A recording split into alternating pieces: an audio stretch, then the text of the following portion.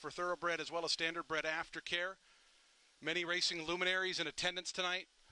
World famous track photographers, analysts, television hosts, racetrack CEOs, and much, much more. Wally Hennessy in the starter car getting into position.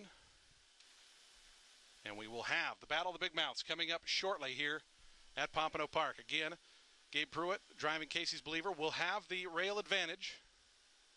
And Pete Aiello, Don't Chip Me, will be in post two. The boys will be heading to the gate shortly for the Battle of the Big Mouths. Reminder, race five is coming up in about nine minutes.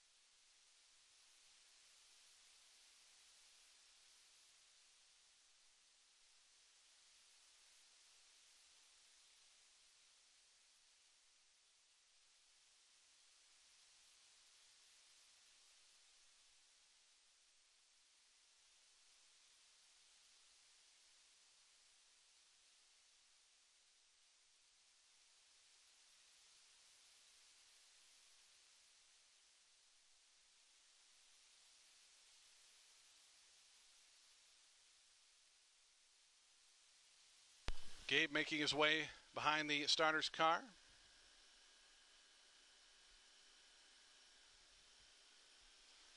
With Casey's Believer, Pete, and Don't Chip Me, right back at the regular one mile starting point.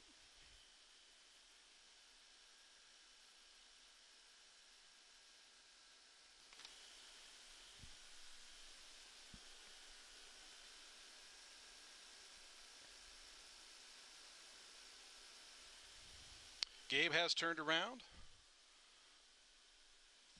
And Pete is right there in behind.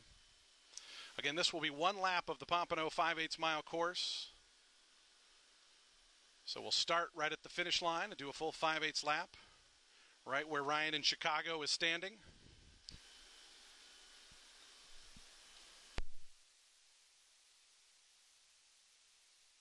Starter calls.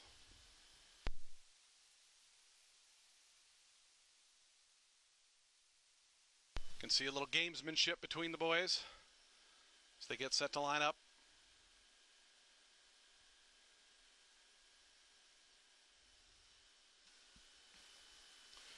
Wally Hennessy again in the starter's car as they ever so slowly make their way toward the starting gate. Again, a 5 8 race, so we will start and finish right at the regular finish line.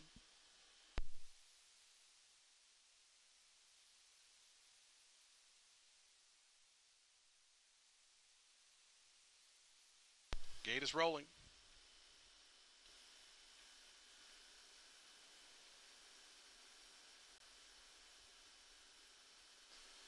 Again, it's Gabe in the number one, Casey's Believer, Pete with the two, Don't Chip Me. Gabe in the light blue and white, Pete in the all dark blue jacket.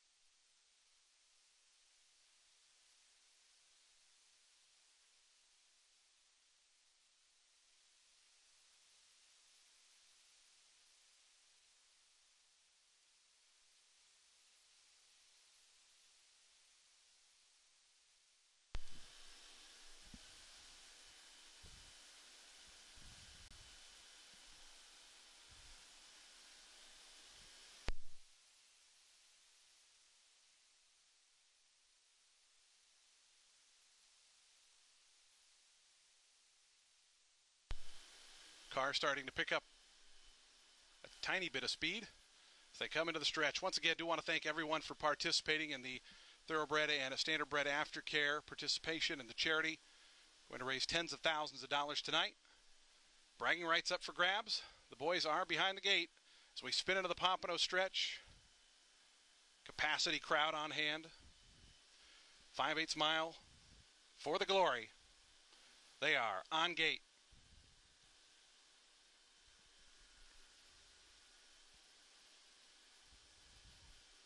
And they're off.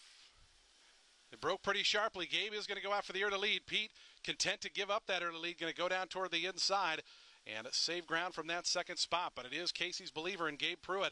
And Gabe lights on, horn blowing early on. He opens up two now to uh, Pete Aiello and Don't Chip Me, who's back in that second position as they have just over three eighths of a mile left to pace. Gabe in front. Pete right on the helmet in the second spot with Don't Chip Me as they go midway down the back stretch. It's Casey's believer in Gabe Prewitt in front. Pete just waiting in the wings, stalking his bitter rival as they have just over a quarter mile left to go in this Battle of the Big Mouths Challenge. Gabe Prewitt still on the engine. Pete taking the second position. He's going to kick toward the outside on the turn. Pete just pushed the go button. Here comes Don't Chip Me up on the outside. Gabe trying to release the brakes here on Casey's Believer as they wind around that turn. Casey's Believer getting a couple reminders and digging in grimly toward the inside. Pete Aiello still has to make up a, half a length on the outside as they turn to the top of the stretch in the Battle of Big Mouths. We got a horse race on our hands. They come into the stretch. Casey's Believer, Gabe Prewitt. Pete Aiello on the outside with Don't Chip Me and some momentum.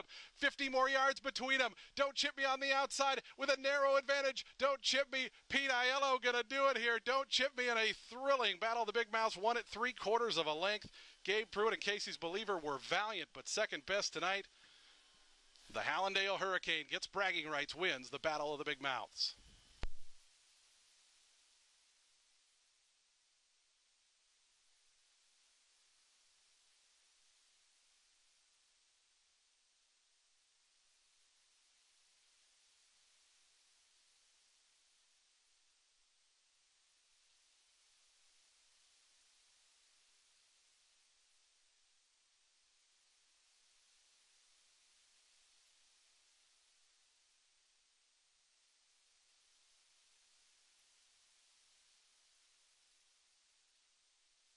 Do take note, the judges have posted the inquiry sign.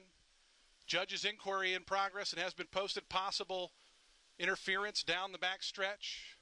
A judge's inquiry posted here in the Battle of the Big Mouths.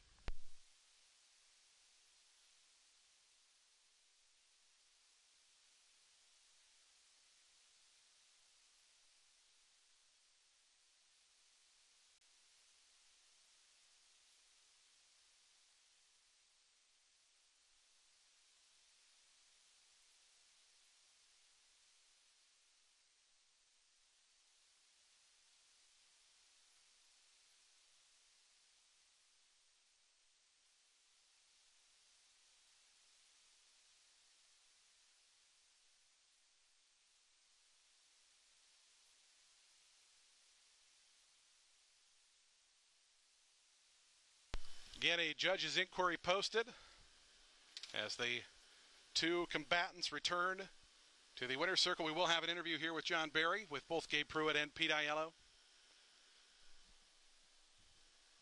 Here comes Pete right in front of the grandstand.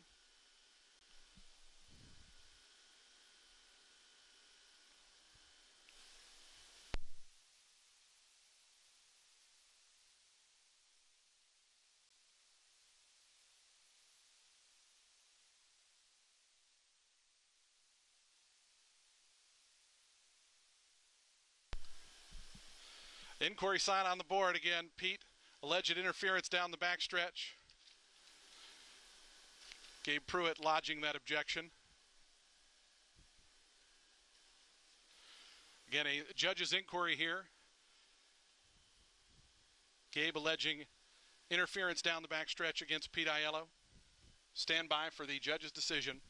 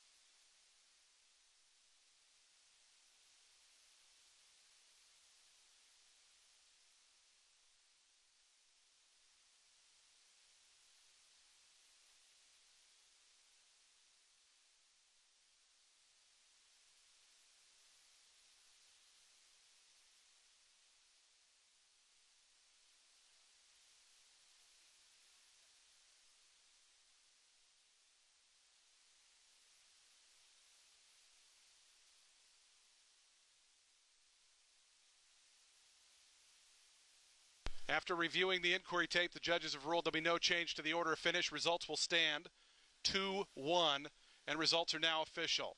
Congratulations to Pete Aiello. We will have a winner's circle interview with Pete and Gabe coming up with John Barry here momentarily. Also, paging the backup announcer for race five.